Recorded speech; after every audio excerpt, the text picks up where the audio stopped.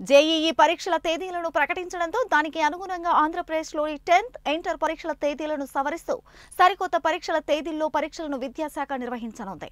ఈ మేరకు ఏపీలో టెన్త్ క్లాస్ పరీక్షల షెడ్యూల్ మారినట్లు విద్యాశాఖ తెలిపింది.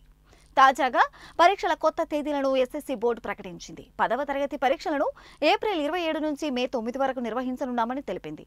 ఈ ఏడాది కూడా టెన్త్ పరీక్షలను ఏడు రోజుల పాటు నిర్వహించనున్నారు.